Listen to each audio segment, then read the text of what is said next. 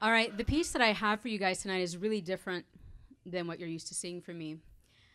Today is my four year divorcery. That's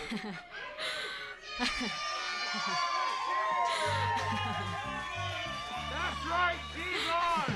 Congratulations! Thank you. You're ours now. I am wholehearted, every part of me.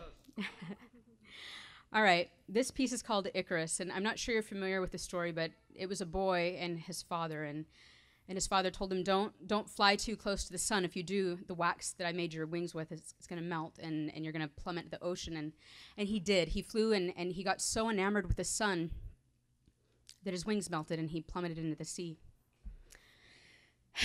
so that's this happy piece. On a cerulean day, Icarus, he jumped. He flew onto a, brilliant sky that he thought he knew, just like I leapt into your arms without a parachute. Neither of us had any idea what we were in for. Because you were 18 and, and I was 19, and because we thought we'd lose each other, and it was frightening. Because I'd, I'd rub your back and I'd sing you to sleep like no one else would ever do because I knew that your favorite number was 32, and I could curse in French, Arabic, and Spanish because of you.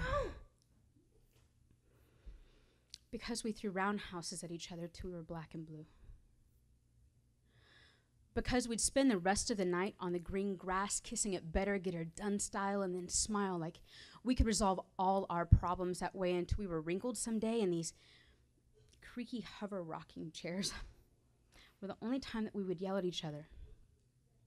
It was because we're deaf as shit. because at least when we heard I love you, we thought we meant it.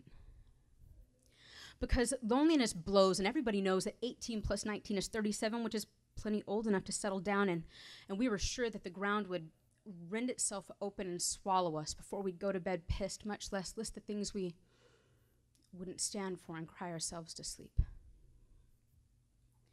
Lover, like I just said, we had the important things covered before they could say, Hey there, Mr. Hot Wheels. Uh, you remember when you said that you wanted to travel the world with a backpack and not a diaper bag? It's true, baby girl. Remember when you said that you wanted to change the world one child at a time? So we traded hearts for circles in front of a bunch of strangers. Blind to the dangers inherent in marrying your anti soulmate just because we could fuck like it was a competitive sport. it ended 10 years later, and I'm still picking pieces of us out of my heart. When I'm running to our children's room to explain to children why daddy won't be home soon. How do you explain to a six year old that, that daddy, he packed his pack and he, he put it on his back and he took off to Cheyenne because being a grown up fucking sucked? And that, that mommy feels guilty because she thinks she lucked out the day that that door closed behind him. It's just, it's so much easier to change you and your brothers one child at a time now that he's gone.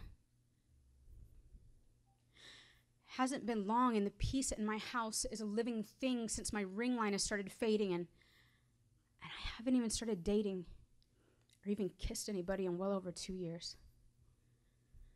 Because I have this feeling that, that they're going to taste like him and I won't recognize it until the wax is running down my wings. Thanks.